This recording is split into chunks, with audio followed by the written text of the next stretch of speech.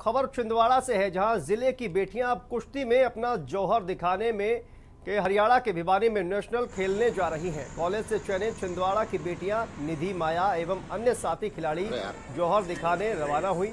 वहीं जिला कुश्ती संघ के पदाधिकारियों द्वारा फूल माला पहनाकर उज्जवल भविष्य की कामना करते हुए जीत के लिए भगवान से प्रार्थना की गई। कुश्ती संघ के मीडिया प्रभारी एडवोकेट देवेंद्र वर्मा ने हरियाणा रवाना हुई बेटियों की जानकारी दी। यार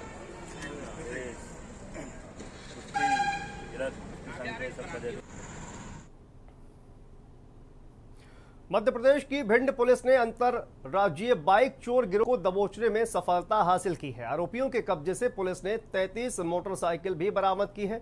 पुलिस अधीक्षक शैलेंद्र सिंह चौहान और एएसपी कमलेश कुमार के निर्देश पर यह कार्रवाई की गई। इस कार्रवाई में पुलिस ने बाइक चोर गिरोह के तीन सदस्यों को गिरफ़्तार किया है। आपको बता दें कि ज़िले भर में बाइक चोरियों का सिलसिला पिछले कई सालों से चल रहा था, जिस पर अंकुश लगाने के क्षेत्र में यह पुलिस का बड़ा कदम माना जा रहा है।